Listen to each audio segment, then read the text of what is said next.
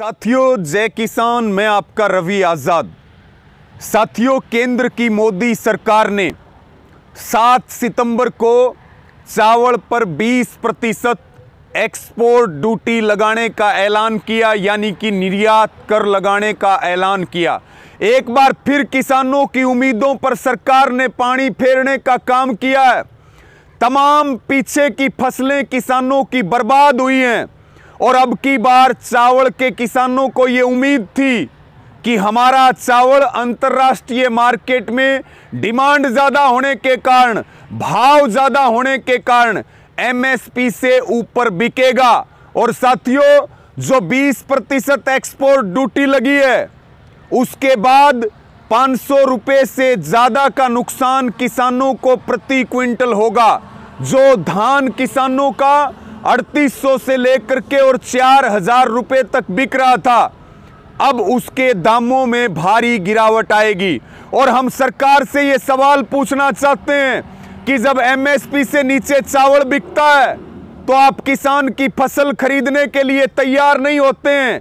लेकिन जब किसान को उम्मीद होती है कि एमएसपी से ऊपर का दाम मिलेगा तो इस तरह के हथकंडे अपनाए जाते हैं और एक्सपोर्ट ड्यूटी लगा करके किसानों का गला घोटने का काम किया जाता है।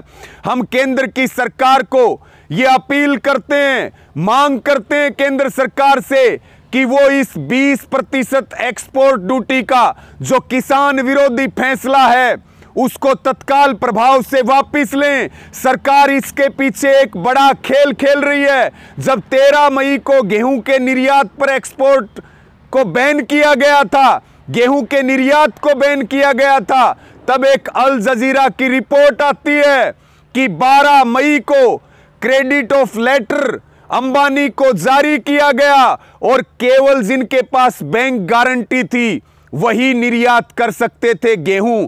12 मई को अंबानी को लेटर जारी होता है और 13 मई को बैन कर दिया जाता है, गेहूँ के निर्यात पर बैन लगा दिया जाता है।